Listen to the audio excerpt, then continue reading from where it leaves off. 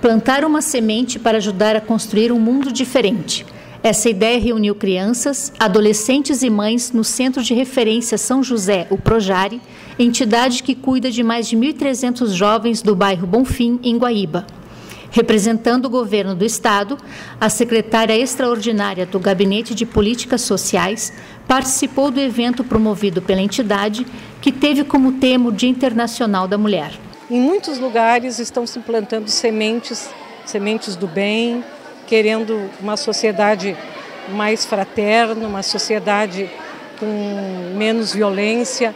E é isso que a gente quer para o nosso Estado. Há 28 anos, o Projare desenvolve oficinas e cursos de artesanato, recreação e informática, com a ajuda de voluntários e colaboradores. Nós viemos assim já há 28 anos trabalhando nessa dimensão da cultura da paz.